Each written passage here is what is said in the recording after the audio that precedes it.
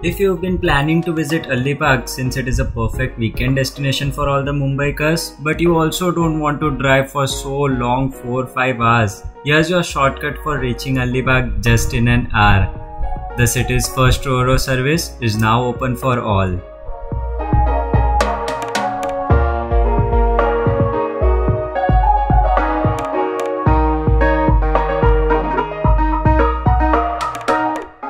If you are planning to get on a bike just like us, try reaching at least an hour early as the bike tickets are not sold online and hence you have to reach the port to buy the bike tickets.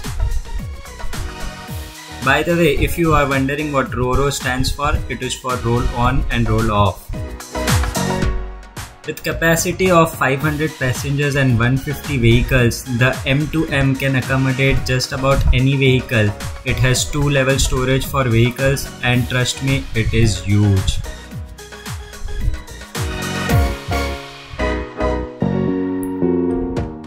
This ferry has not only helped us to cut down on the traveling time, but it also allows us to enjoy a comfortable and a luxury ride from Mumbai to Mandwa, keeping all the safety protocols in mind.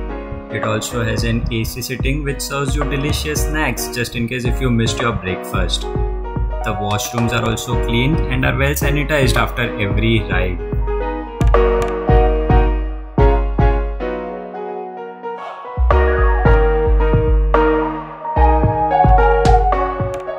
The staff is also very professional and you need to keep your face mask on all the time during the journey. You can take off your face mask only when you are in the AC lounge having snacks.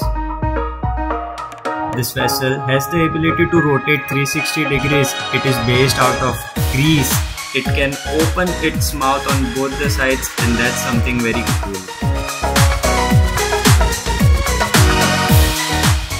I hope you enjoyed this ride from Mumbai to Mandwa with me and if you did, do give it a thumbs up and hit the subscribe button.